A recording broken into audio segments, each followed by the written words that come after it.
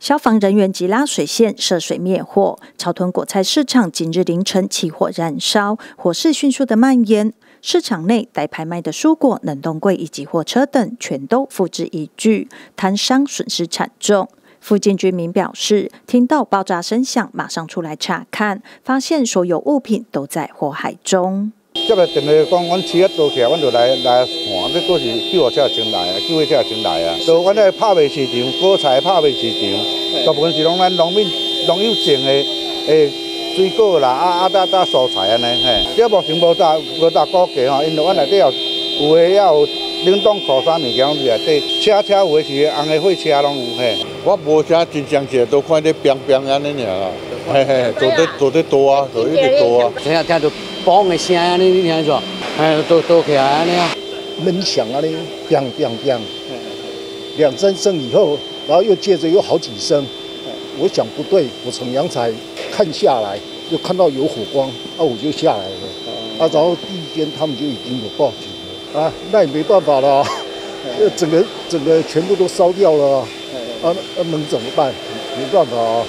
大火燃烧，熊熊火光照亮夜空，浓烟直串天际。南投县消防局火报派十多辆车，约五十人到场涉水灌救，所幸无人伤亡。起火原因待调查。呃，我们本局哈，大约一呃凌晨一点五十分呢，受理到这个呃市场的那个火警报案了。那我们立即出动临近消防车临近分队哈，消防车辆各式消防车辆那个十一台哈，那个警义消。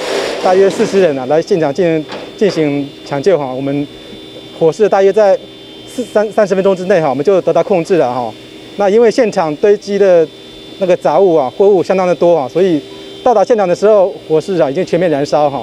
那呃，这个面积大约是五六百平方公尺啊。那详细的火灾原因呢？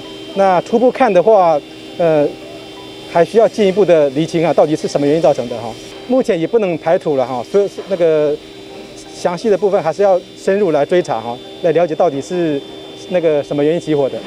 县员唐小芬感谢消防人员全力救灾，两个小时就将明火扑灭。农会将会积极的修复、重整果菜市场，希望相关单位检修相关线路，保障民众安全。果菜市场的一个批发市场哈，临时的来发生一个火警哈，那也很感谢哈，我们消防局跟当时临接近快四五十位的警消的一个通力协作哈，接近两个小时的时候，完全把我们的火都来熄灭哈。很庆幸的是，我们所有的人员哈都是非常平安的。那尤其是这一次是因为火灾的关系，也在我们的财损方面哈啊是比较严重一点点。那我们草屯镇农会也积极的哈来做一个修复。那这我们也即将哈啊可能在我们的休市的一个几天的时间内，然后尽快的能够来把我们的果菜市场来再做一个重整哈。那也希望说透过这一次的这个哈不幸事件的一个发生啊，能够让我们整个现场的一个管线能够再做一次的哈啊检。修哈，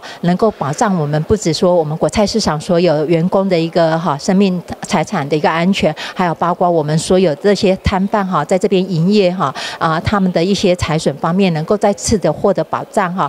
县府消防局指出，消防人员抵达国菜市场布水线灌救。凌晨四时四十分，火势熄灭，进行残火处理。起火原因待进一步的调查。草屯镇农会获悉，排员在周边驻守，并公告果菜市场十三日起休市五天。记者邱平义，草屯镇采访报道。